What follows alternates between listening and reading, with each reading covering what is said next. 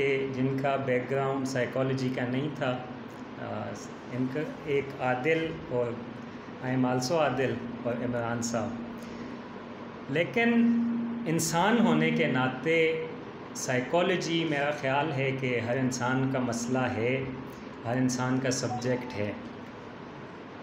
जो जिन साइकोलॉजिस्ट के साथ मेरा इंटरेक्शन हुआ और ख़ास तौर पे मेरी एक भतीजी हैं she is part of Aagaz institute Zunaira अगर आप जो लोग टीम मेंबर हैं आगाज़ के तो उनको जानते होंगे। मेरे लिए शी वाज द इंस्पिरेशन उसने, उसकी वजह से मुझे इंसानी नफ्सियात में दिलचस्पी पैदा हुई और मैंने कुछ लोगों को स्टडी करना, समझना शुरू किया। कुछ लोगों के साथ इंटरेक्शन हुआ। जो उसके साथ इंटरेक्शंस हैं या जो साइकोलॉजिस्ट की कम्युनिटी है, आगाज़ या किसी और प्लेटफॉर्म से, उसकी जो तस्वीर मेरे सामने बनती है, ये वो तस्वीर है जो जुनैरा ने बनाई है। इसलिए अगर कहीं पे आपको लगे कि ये पिक्चर डिस्टार्ट हो रही है तो मैं अपोलोजाइज़ करूँगा।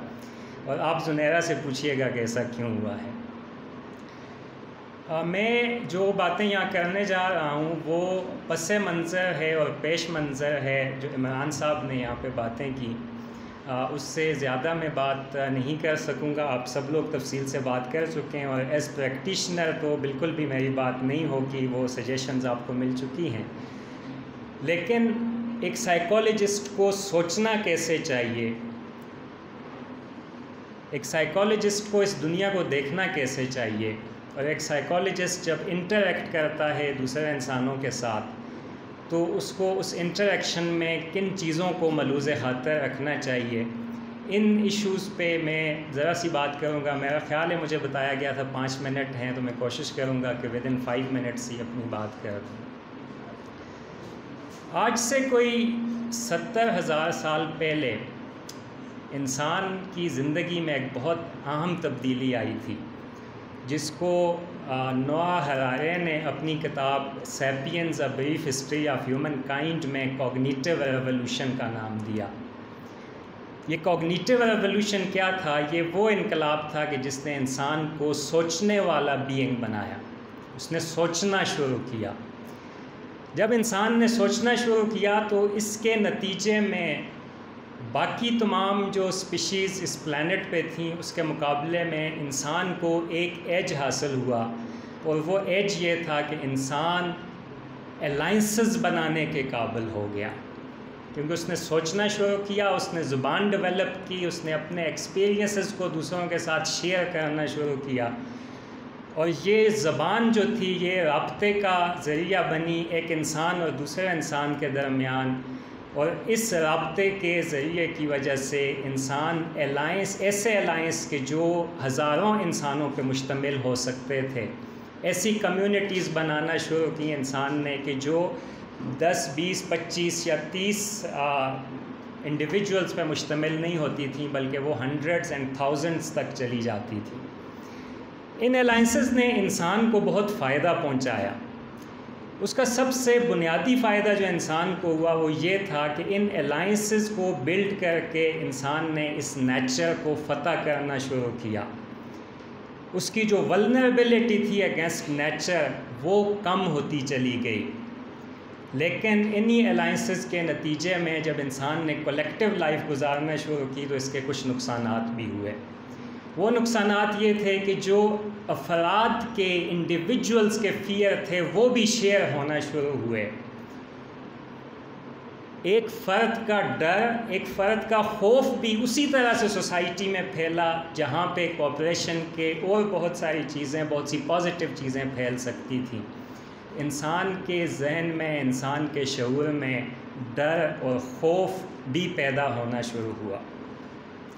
ये जो डर और खौफ है जैसे जैसे इंसान की ज़िंदगी कम्प्लेक्स होती चली गई, पेचीदा होती चली गई, इंसान ने एग्रीकल्चरल रेवोल्यूशन देखा, इंसान ने इंडस्ट्रियल रेवोल्यूशन देखा और आज हम जहाँ पे मौजूद हैं, हम पोस्ट इंडस्ट्रियल एज में हैं। और इस पोस्ट इंडस्ट्रियल एज में हमारे फियर्स की शक्लें भी बदल गईं, वो भी ज़्यादा से ज़्यादा पेचीदा होते चले गए। मेरा ख़्याल ये है कि एक साइकोलॉजिस्ट का काम किसी भी इंसान को उसके खौफ को, उसके डर को, उसके फियर को जो सदियों के और हज़ार हा साल के सफ़र में, वक्त गुजरने के साथ ज़्यादा पेचीदा, ज़्यादा मुश्किल होता चला गया, उस डर का बोझ सर से उठा उठा के नीचे रखने में हेल्प आउट करना होता है। लेकिन एक साइकोलॉजिस्ट को ये याद रखना चाहिए कि वो भले एबटाबाद में बैठा हुआ है और किसी अकीदे, किसी सोच, किसी मज़हब से उसका ताल्लक है, उसको ये याद रखना चाहिए कि वो डील किसी मज़हब के साथ नहीं करता, वो डील इंसानों के साथ करता है।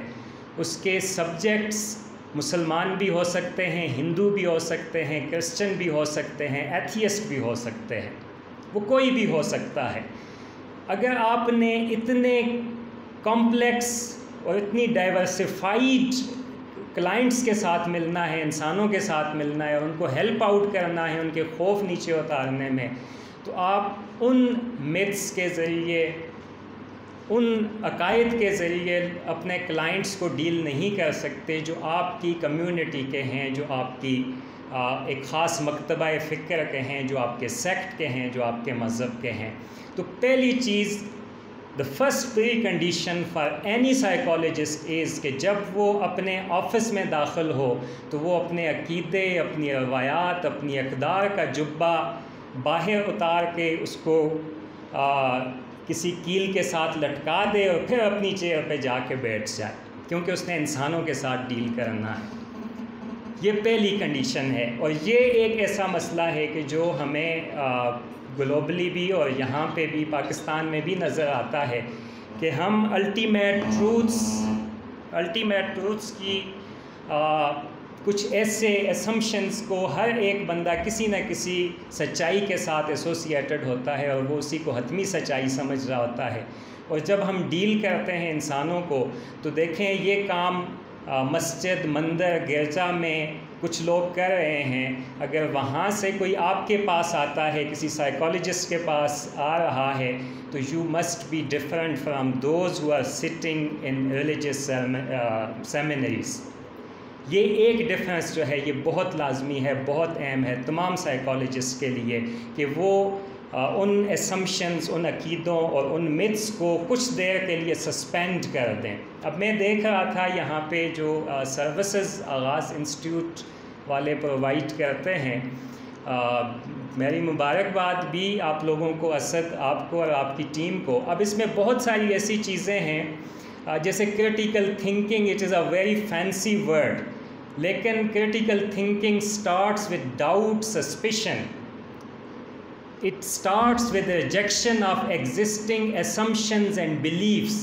आप हर चीज़ को शक की नज़र से देखते हो, वहाँ से क्रिटिकल थिंकिंग स्टार्ट होती है।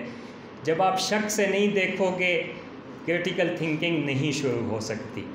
तो एसम्पशंस को रिजेक्ट करना और अपने बिलीव्स को for the time being suspend करना कि जो बिलीव्स आपके अपनी सोसाइटी के हवाले से हैं, दूसरे इंसानों के हवाले से हैं ये बहुत आम है क्रिटिकल थिंकिंग के लिए भी और ये उतना ही आम है एक साइकोलॉजिस्ट के लिए भी कि वो क्रिटिकल थिंकर हो और वो रिफ्लेक्ट होना चाहिए आपकी गुफ्तु में भी और ऐसी सेशंस में भी और सेमिनार्स में भी जब भी आप आपस में बात करें। तो आप सेट जो बिलीव्स हैं उनसे हट के इंसान को जो ह्यूमन सेंट्रिक का सर ने बात की तो साइकोलॉजी की, आपके डिसिप्लिन की तो इब्तदा ह्यूमन सेंट्रिक पैराडाइम से होती है। और ह्यूमन सेंट्रिक पैराडाइम रिवॉल्व था थियोसेंट्रिक पैराडाइम का यू मस्ट अंडरस्टैंड इट दूसरी अहम चीज़ जो एक प्रैक्टिशनर के लिए बहुत लाजमी है साइकोलॉजी के प्रैक्टिशनर के लिए कि उसको साइकोलॉजी की फ़िलासफ़ी का पता हो। तो मैं आपसे रिक्वेस्ट करूँगा कि कभी अपने फ़ारग अवकात में ह्यूमन थाट का जो एक पूरा सफ़र है सदियों का कभी कभार आप इस ह्यूमन थाट के सफ़र को समझने की कोशिश करें और जिन लोगों ने कंट्रीब्यूट किया है, लिखा है, आपकी अपनी फ़ील्ड के, बल्कि साइकोलॉजी के जो लोग हैं, उन्होंने टोटम एंड टेबूज़ के नाम से सिगमेंट फ्राइड की किताब, वो लाजमी आपको स्टडी करनी चाहिए योंग की बुक्स आपको स्टडी करनी चाहिए। थ्योरी जब आपकी स्ट्रांग होगी, आप फ़िलासफ़ी उस आपके सब्जेक्ट के पीछे जो फ़िलासफ़ी है, उसको समझेंगे तो आप एक अच्छे प्रैक्टिशनर बन सकते हैं। एक इंजीनियर में और एक कार मैकेनिक में बुनियादी फ़र्क यही होता है कि इंजीनियर थ्योरी को भी समझता है और प्रैक्टिस को भी, और मैकेनिक जो होता है, उसको सिर्फ़ प्रैक्टिस का पता होता है, वो प्रैक्टिशनर होता है। तो I would request you to become engineers and doctors and not to become mechanics and hakims ठीक है? दूसरी अहम बात यह है। तीसरी जो एक चीज़ जिस पे मैं अपनी गुफ्तु ख़त्म करूँगा वो ये है कि रिसेंटली कुछ नई डेवलपमेंट्स आपकी फ़ील्ड के हवाले से आई हैं और कुछ दोस्तों की अनायत की वजह से उस लिटरेचर से मुझे आगाही और वाकफियत हासिल हुई है। उसमें एक बहुत इंपॉर्टेंट वर्क है the art of living in your green zone doctor Khalid Sohail Canada में सेटल्ड हैं और उनकी ये किताब है साइकेट्रिस्ट हैं बुनियादी तौर पे वो, लेकिन उनका जो इंटरेस्ट है वो साइकोलॉजी है साइकेट्री के बजाय। तो ये किताब आप लाजमन स्टडी कीजिए आप लोग जो हैं, अगर किसी को उसकी सॉफ्ट कापी चाहिए हो तो मुझे ईमेल कर सकते हैं, मैं वो भेज सकता हूँ।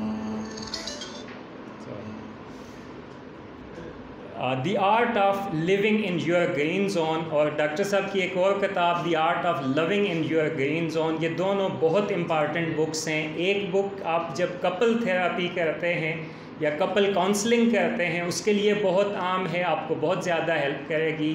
और दूसरी किताब the art of living in your green zone ये आपकी लोगों के जो पर्सनल ज़िंदगी में या सोशल लाइफ में उनके जो प्रॉब्लम्स होते हैं, उसके हवाले से आप लोगों को बहुत ज़्यादा हेल्प आउट करेगी। तो I request you to study these books also जो नया लिटरेचर पैदा हो रहा है जो नई रिसर्चेस सामने आ रही हैं उनके साथ भी आपको एसोसिएटेड होना चाहिए। लास्ट बात जो मैं कहना चाहूँगा ये मेरा ख्याल है दूसरी दफ़ा मैं लास्ट बात कह रहा हूँ। ये इशू है मुझे नजाक डॉक्टर नज़ाकत साहब ने आते हुए कहा कि आपको पाँच मिनट का टाइम मिला है तो पाँच मिनट तो आप तम, तमीद बाँध लेते हैं। तो बात कैसे करेंगे? तो मैं असद अगर आपकी इजाज़त हो और मैं